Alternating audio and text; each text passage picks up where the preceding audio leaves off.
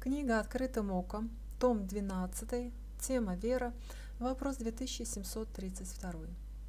Прощается ли человеку некрещенному грехи после истинного покаяния?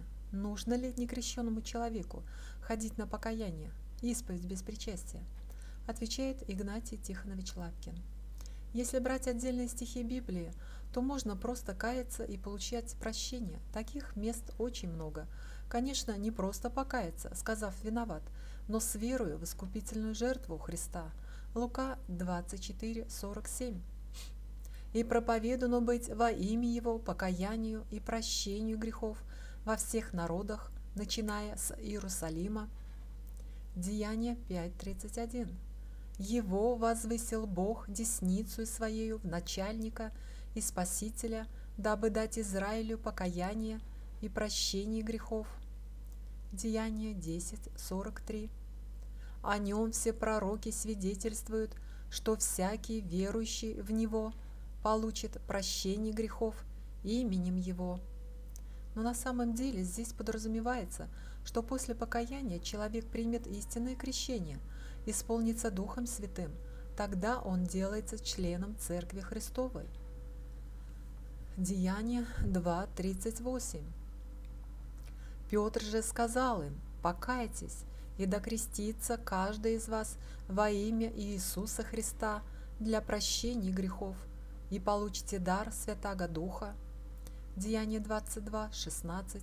«Итак, что ты медлишь? Встань, крестись и омой грехи твои, призвав имя Господа Иисуса».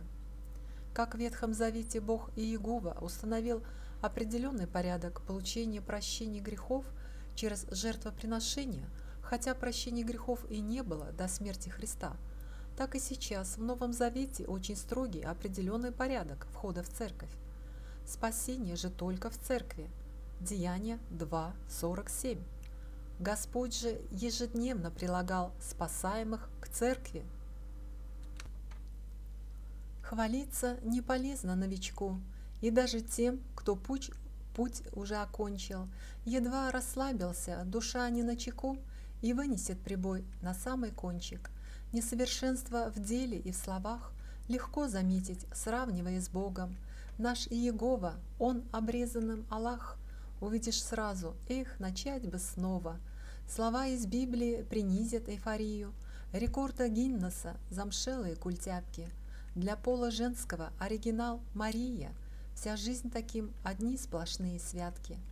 Хвалиться можно Господом, что знаешь, как благ, как милосерд Всевышний, что стал овцой, теперь не волчьей стае, столь вожделенное теперь считаешь лишним, не нашей силой, выучкой, талантом, но Божьей милостью, Его долготерпением.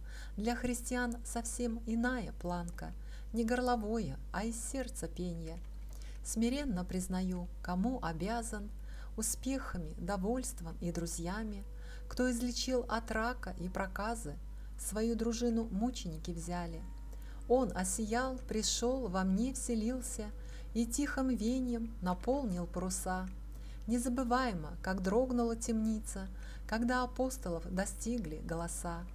Хвались тем днем, когда родился свыше, хвались часами с Библией раскрытой, Среди свиней и выкриков расслышал, Поднялся, распрямился от корыта. Хвалебный гимн не умолкает ночью, Что с Божьей помощью обрел светильник. Хвалюсь Иисусом, пою, сколь хватит мочи, Мой пастырь добрый, милосерд и сильный. 15 февраля 2005 год, Игнатий Тихонович Лапкин.